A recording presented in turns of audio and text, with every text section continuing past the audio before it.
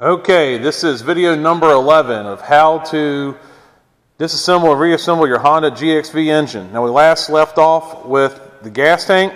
This is a 12 millimeter bolt. So, I'm sorry, this is an 8 millimeter bolt. You're going to want to use a 12 millimeter socket. You tighten this down to 15 foot pounds. So go ahead and tighten that down to 15 foot pounds. After you get that torque down, let's move over here to the exhaust real quick. Here's your exhaust manifold gasket. This is going to slide on here first. And this right here is an oversized gasket. And what it does is protects the heat from uh, hitting that spark plug and spark plug wire. Now this thing could go on a few different ways, but the only logical way it goes on there is going to be this way. So you're going to have to have the hole facing out towards the front because it wouldn't make sense to throw hot exhaust gases back against that engine. Now, if you remember, you got these two funky looking little um, washers, and they're sealing washers. They seal your exhaust gases. We're going to put those on here. Okay. Now you should have two nuts left over for the exhaust, and you're going to need a 10 millimeter socket. I grabbed a socket, a socket and a 3 inch extension.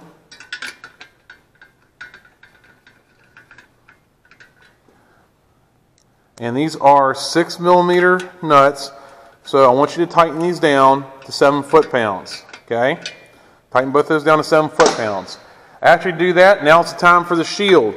We're to put the shield on just kind of loosely here. Now, your shield needs to line up, that hole right there needs to line up. This stud needs to line up here. Come around this way. The fuel tank is going to have to line up with that right there and then your cover needs to be in front of the valve cover, okay? All right, so there's a few bolts you should have left over. Let's talk about these here real quick. All right, this one's a little bit longer than this one. This one right here is for your oil fill tube. So you put this in here like so.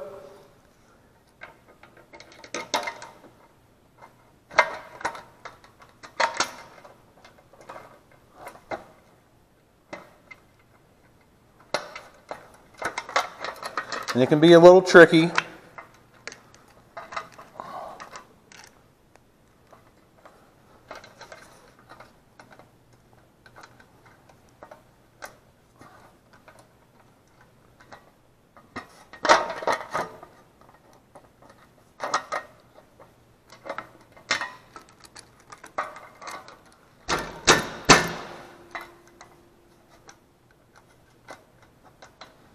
Okay, once you get that started, move on here, find your nut. Take your nut, put on the back side of here.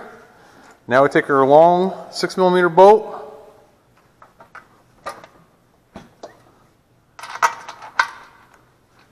We get all this to line up now.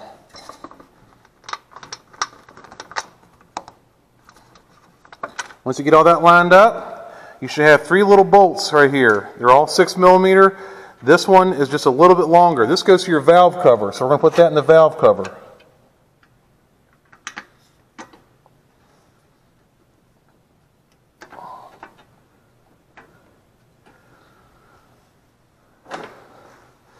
These are 10 millimeter heads, but they're 6 millimeter bolts.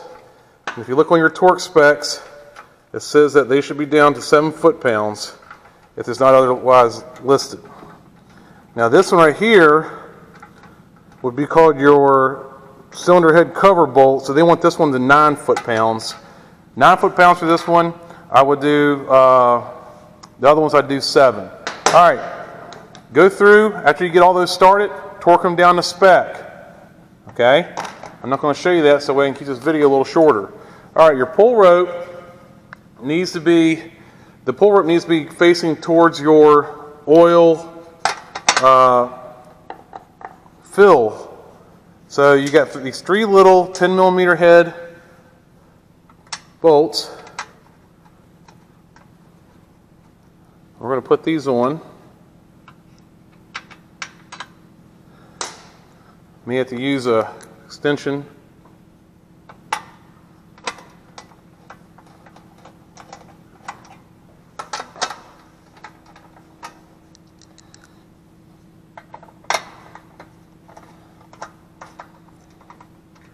Okay.